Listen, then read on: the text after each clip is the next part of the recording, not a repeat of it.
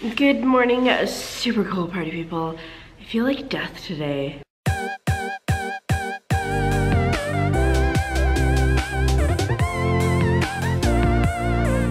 So over the course of our trip on Thursday, I was getting really bad allergic reactions. I feel like I mentioned it, mentioned it. But as the day went on, I was like, is this turning to something else? And then by nighttime, I was like, oh, I think this is a cold now. And then kind of like mid Thursday or mid Friday, I was like, yeah, this is definitely a cold. And it just has gotten worse and worse and worse. I can hardly breathe. Like I was up so late last night, just like not, which is so great.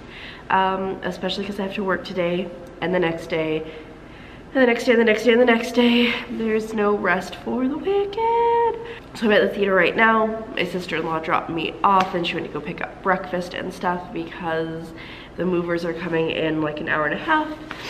So that's very exciting. I'm sad that I can't be there to help, but what can you do? So what I'm gonna try to do is be as functional as possible, but there are no promises. I'm so tired and I feel so blah, but that's the update and um, check in with you later. Okay, so I know I've mentioned this before where work will be like, someone will be like, oh, can you let someone in at this time? And um, today was one of those days.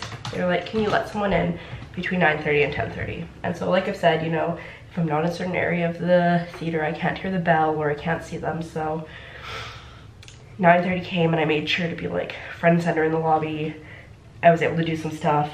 And they got to the point that's like been like 40 minutes. And um, they still haven't showed up. And guess what? They never showed up. so I wasted so much time where I could have been being so much more productive because the people that were supposed to show up at a certain time didn't show up. I'm just doing my time sheet right now. Anyways, super frustrating and I'm really confused because I didn't put in my time for the other day and I don't know what's going on. But anyway, is it five? What's five in 1700? Um, anyways, I'm pretty much done now. I am just finishing up here and then my brother and one of our friends is gonna pick me up What's today? It's Saturday.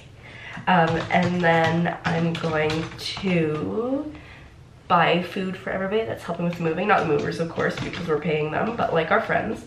Um, and then I am going to go to a house. I'm not sure which house I will be going to, but I'm going to be going to a house. And I guess technically that's that time right now, so I don't know. No.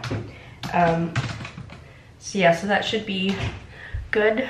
Um, I don't know what the, the progress is right now. I don't know if we're at the new house yet or if we're transiting to the new house, if the old house is packed up yet. I have no idea because I mean obviously I don't want to text them and bug them and be like hey what's going on what's happening now what boxes are you moving um, so yeah I'm feeling a lot better than I was especially last night and also this morning um, I'm not as stuffed up which is great. And when I go outside and there's fresh air, I like feel like a person again. I am quite warm though, like constantly gushing sweat. I'm definitely sick. I feel like, because I was a little bit uh, under the weather last week, but I kind of got rid of that really fast. So I feel like with the allergens that were killing me on Thursday, just it was somewhere in my system. I was like, hey, remember me? Anyway, I feel like I'm on the upswing, but we will see because now I'm just thinking like I have to move so much furniture in my room to like set up my room how I want it to be. But fortunately, we do have some friends that are helping us kind of with logistics and stuff, and I'm sure they'll stick around to help us move furniture that isn't in the right spot. I hope. I hope, because it's hardwood floors, and I don't want to scratch the hardwood floors. I am rambling so much now, so I'm gonna go uh, finish up a couple things and then peace out, and I will see you later, probably at the new house. Alrighty, so yes, at the new house yes, movers still aren't here. Like they, I don't know, I wasn't there obviously all day, but it sounds like they're taking their sweet time. Anyways, I am still a little bit sick, but I'm cleaning the kitchen now and all the surfaces and all that fun stuff. And then we'll get to do like the sweeping because there is definitely fur there. Ah, and then it should be better. And then eventually figuring out where the bed's gonna go and stuff. I'm thinking that I'm gonna do bed here and then desk there. I don't know. We'll see. We'll see. Got some random stuff here, like my bedding, and then everything I dropped off last night. But yeah, it is time to go clean and then eventually nap. I think I'm so tired. Also, guys, my prom dress. I haven't seen this for years. Look at that, it's so sparkly. And it's so poofy too. There is so much poof. It's actually a really funny story behind the dress is when I was growing up, I was always like, I want a purple dress or like a lilac color one or maybe a, I gotta fix this, or maybe like a uh, red one. Okay, this is, we cannot hold you. There's just too much going on. I cannot hold you. Give me one second. I'll be right back. Okay, I'm back. So, yeah, I always wanted like a red one or like a lilac one.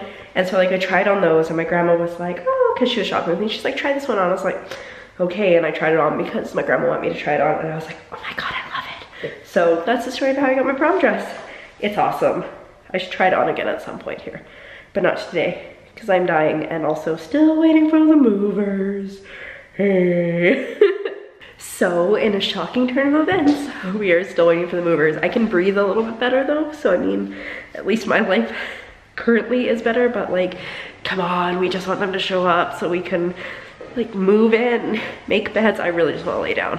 But I got the garage door open in here, the big one, and then I have the front doors open. Everything's wiped down, everything is swept. Like, uh, I don't even, I don't even know. I don't even know. So rumor has it that they are about to leave our other house. So they're coming up here. My sister-in-law and one of our friends just went to go pick up dinner because it is now 20 to 6. Um, I fed everybody lunch. She's picking up dinner for everybody. And then I guess we just continue. I think I'm gonna actually move this stuff here out of the way because I don't want that to get broken just in case. But yeah, like such a long day, such a long day. Well, let me tell you, it has been a, a long day. We've reached the end. We are fully moved in. There's, I mean, a few bits and bobs still at the other house. Um, like it has to be cleaned, but we're good, we're here. I'm still dying. My bed is made. I put a poster up because there was a hook, but other than that, like, we're kind of situation dire. But that's okay. We'll get there. I am not too concerned at all. I think I'm like missing most of my clothes though, I feel. I could be wrong. Anyway, I am dying so hard and I have to work again tomorrow. So without further ado, I am going to go to sleep.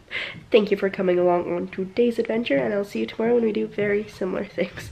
Good night.